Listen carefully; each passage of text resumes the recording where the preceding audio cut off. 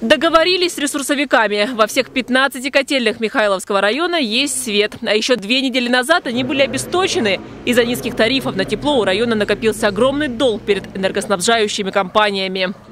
По одному предприятию порядка 2 миллионов 400 тысяч, это Алтайкраэнерго, э, и по второму предприятию 184 тысячи. Договорились э, по графику э, погашения задолженности образовавшейся и по гарантированному оплате предстоящего отопительного сезона.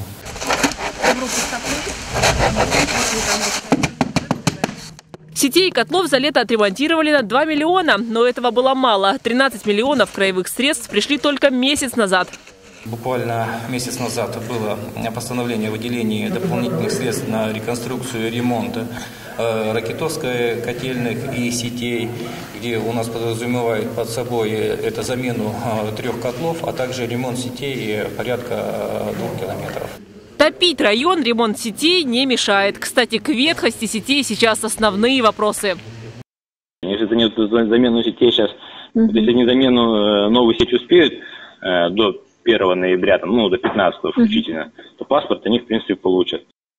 К слову, в прошлом году Михайловский район паспорт готовности не получил и рискует вновь. Возможно, в следующем году он выйдет из аутсайдеров. В Краевом Минстрое нам сообщили, что в муниципалитете запланирован капитальный ремонт теплосетей. В подвешенном состоянии три города – Алейск, Славгород, Яровое. В последних двух больше 200 замечаний от Ростехнадзора. А еще Бийский, Калманский, Михайловский, Павловский, Первомайский, Смоленский, Тальменский районы.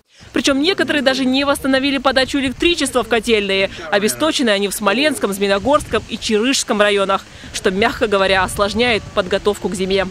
Валентина Аскерова, Алексей Фризин. День с толком.